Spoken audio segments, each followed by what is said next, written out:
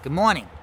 Welcome to beautiful Nazi land, California, where it's 75 degrees and it's very sunny and it's winter. Today, we're gonna go look at the trailer. A lot of you have been asking, T, let me see the inside of your trailer. Let me see the inside of your trailer. What's the setup? As you know, I just dropped 20 grand on the trailer. Plus, I dropped another probably 2,500 bucks on my employees to put it together and organize everything very nicely. This is gonna be the most organized trailer you've ever seen in your life. Promise you that. Let's go check it out. You remember this one? Very nice trailer. So uh, this is the semi truck driver. Remember on the last video I said maybe we can drive his truck? It's right there.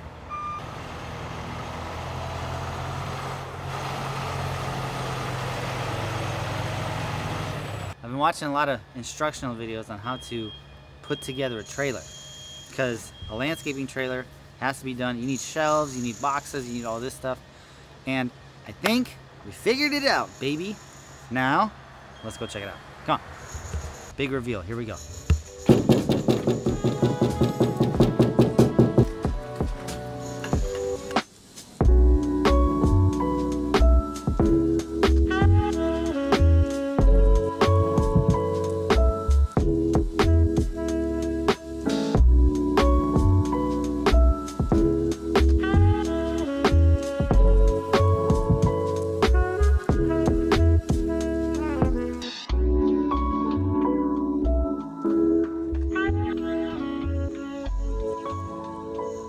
All right, come check it out.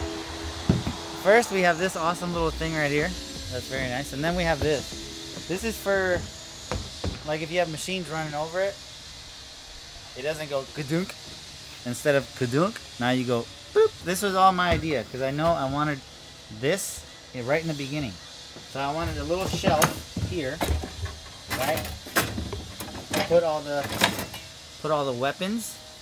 Oh! I'm actually not a violent person. I'm really not. We have our levels.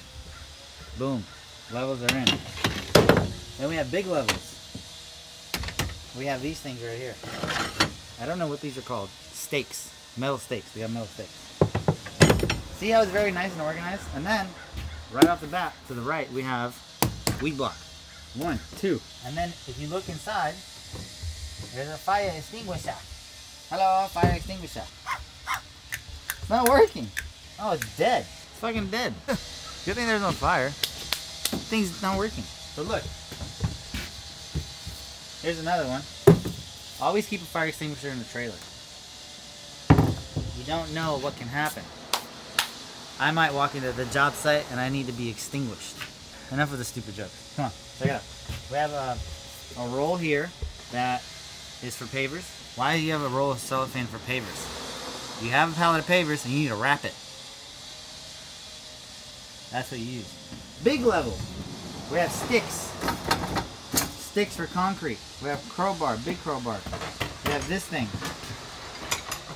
Drill bits. Concrete drill bits. Pencils. Check it out. You guys need a pencil? Right here. Okay, we have uh, just random random bolts and shit. We got hardware for fences, which we don't even do fences, but we have it anyway. We got grinders, small grinder, big grinder. We have this. We have this. Okay. This is a rebar cutter. Straight up, rebar cutter. Very nice piece of equipment. I don't know why this is here. This is probably not working. It's probably garbage.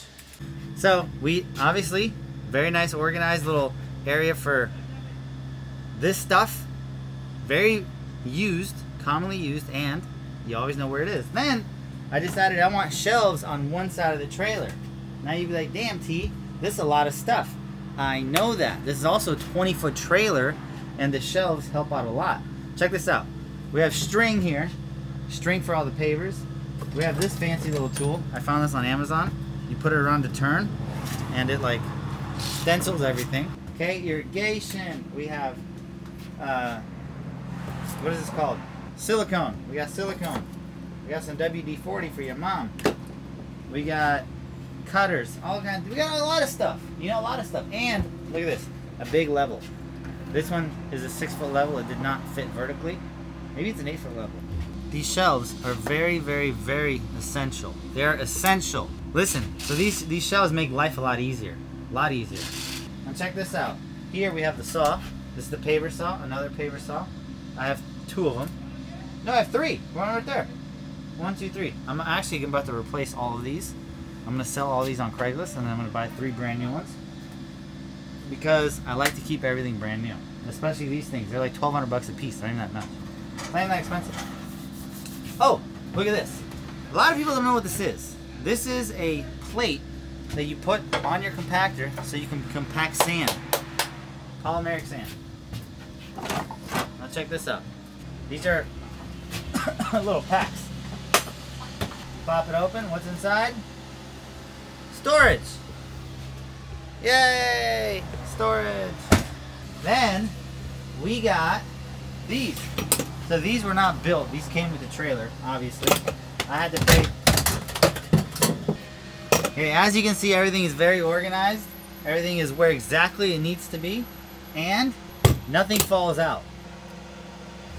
Then we have a chainsaw right here. They were just using this chainsaw. This chainsaw is supposed to go somewhere. I don't know where. A vacuum. We got compressor, pressure washer, a bunch of, bunch of, uh, a bunch of stuff for sprinklers. We have one compactor. We have one tire. Look at this. A weed whacker, which I never used the weed whacker. I don't even know why I have it. I will get rid of it soon. Maybe I should do a weed whacker giveaway. Huh? You want it? Can't have it. I'm so mean. Sometimes, sometimes I should not be so mean. Hey, Cameron's like, yes, you're very mean. Boom!